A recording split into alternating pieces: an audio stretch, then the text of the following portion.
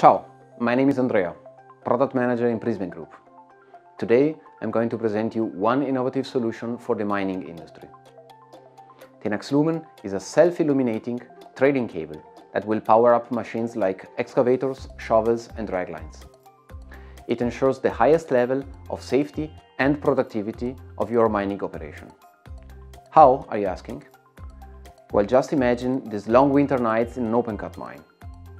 The cables are laying on the ground and in the dark, the operators can hardly see them.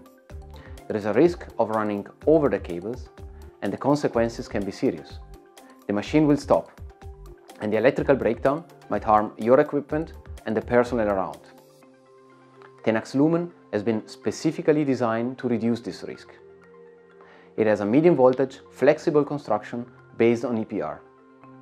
And then we have an active illumination technique, so the light will remain on also when the machine is not running.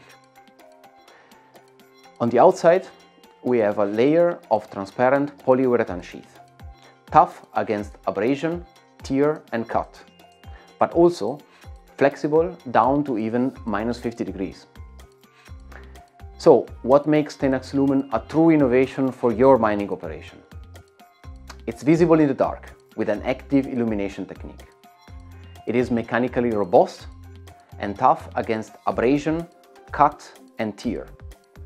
And it is resistant against UV, oil, moistures, but also to cold conditions. So you can rest assured, the quality of Prysmian cables made in Germany is always there. That's it for today. Stay tuned for other cool cables and drop us a like if you enjoyed this one. Stay safe. See you next time.